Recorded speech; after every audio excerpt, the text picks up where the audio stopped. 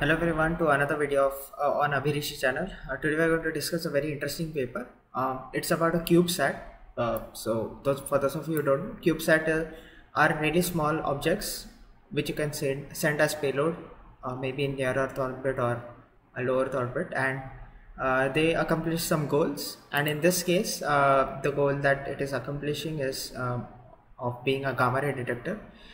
So this was made by a team of like a large team of students uh, based in uh, Ireland, and this is their first project, uh, space like uh, payload design full in-house project, and the name of the project is called um, EIR SET, and um, they have basically named the entire like electronics part or the detection part as a GMOD, so gamma ray module.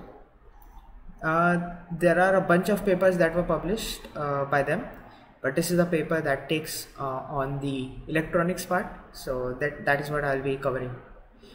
So what they did is uh, they used a cerium bromide scintillator which is a detector high energy detector and they use it uh, with silicon pmts and they used uh, asic so yeah for those of you who don't know asic they are very very specialized digital circuits on an soc which do the job of uh, whatever uh, we want like taking data from sensor and it does at very high speed. So what they have used as the brain of the board is the msp 430 microprocessor which is very standard nowadays um, for the microprocessor. I'm a bit disappointed that they didn't use fpgas um, so yeah there are various uh, testing that they did. Uh, we won't get into the details. In the introduction part there is a lot about what they had initially planned so the size being 10 centimeter by 10 centimeter and the weight being 1.3 kgs and also uh, the instrument um, which has uh, like low power and also uh, like cubical form factor.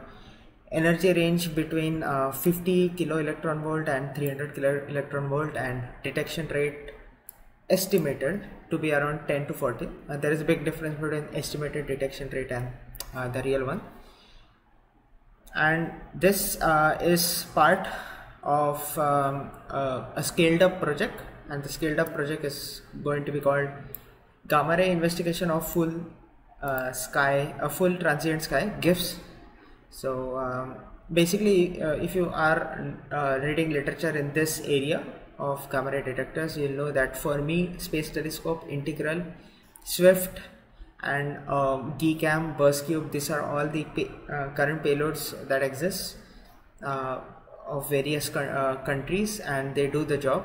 But none of these are small size CubeSat or cluster of satellites. These are just one.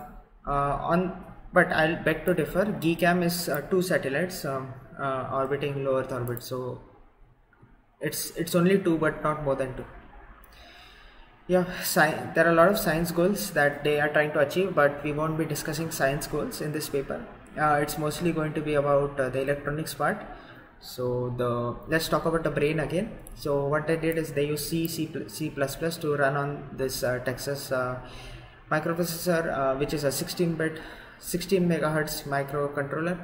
And uh, they had a, a, really good performance which they will be discussing in the paper the asic is produced by the company called ideas in norway which is a well-known company for making space grade asics um, especially uh, like a lot of uh, good uh, asics have been developed by them and designing an asic takes a lot of uh, capital and effort uh, that's why they are a reputable company and yeah I won't be just uh, this. This is just basics about this MSP. How um, they also use this CPLD X C two C two fifty six to receive some form of data, and yeah, to verify uh, whatever they, they were making uh, the small CubeSat electronics board that were making for gamma ray detection they use a library called MEGAlib which is called medium energy gamma ray astronomy library.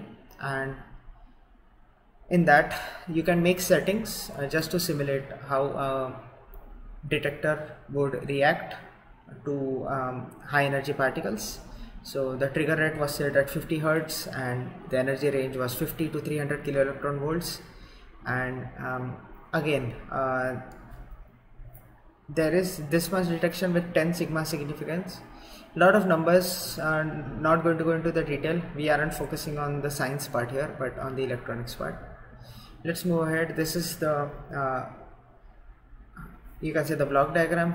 There is the sensor or the scintillator here. Uh, there is a photomultiplier tube here. These are on the external part of the board. There will be a photo later on which I'll show. Uh, there is this ASIC uh, called SIPHRA. And then there is uh, the board itself which is having both a microcontroller and a CPLD to monitor all the kinds of data. And you have this stack interface to connect elsewhere. You also have a memory to store information. So this is the basic um, uh, like protocol that they're following. What I like about this uh, this design is they have chosen uh, SerDes um, protocol to communicate within uh, CPLD and uh, ASIC and also the CPLD and the microprocessor. Um, SPI control between uh, the data and the microcontroller for the configuration part so yeah a uh, lot of cool uh, data uh, communication protocols used. These are some of the details. If you want to know the capabilities of the chip so uh, it has a lot of IOs 68 multiplex IOs 68 um, multiplex IOs and various timers inside it. So an external timer is not needed. Um, okay so SER was soft error rate and they have used an SRAM for the memory as well. And yeah just a bit more about uh, the project and the software that they use. So for the development they use the eclipse eclipse based environment ccs let's move on to some plots and some images. Um, we won't be uh, discussing the entire data flow in detail but you can if you want to discuss it in detail. And uh, this is what they did uh, about the performance analysis. Uh, so there is various uh, stages that they uh, divided the um, testing of the um, project. So first was the development aspect so checking if the data lines are correct and the firmware for the entire project is developed.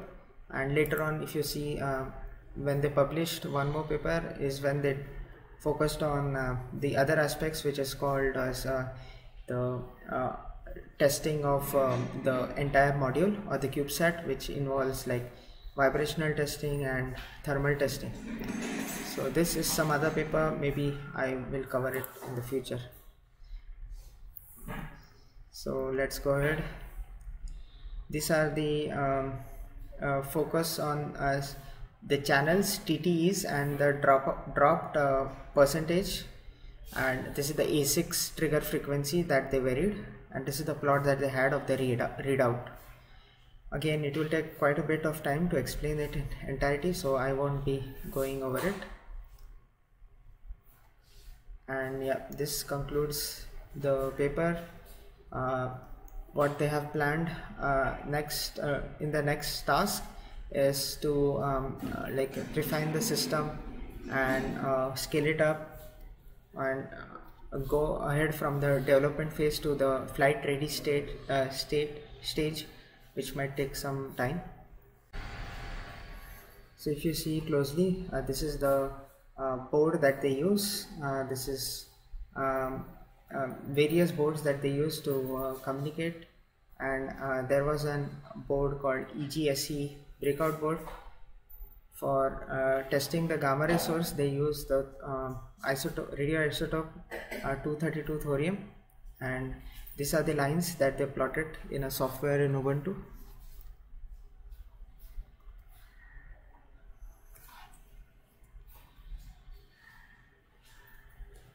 So this was the uh, payload that they developed. And if you can see uh, in the top uh, they have an enclosure a1 where uh, there is um, various things that the CubeSat needs.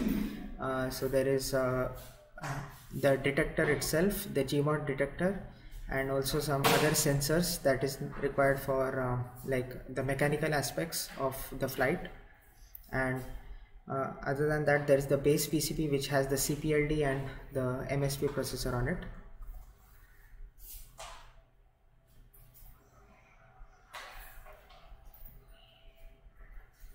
this is how they uh, did the thermal testing of uh, the board and they inserted it into a thermovac uh, chamber so TVAC chamber.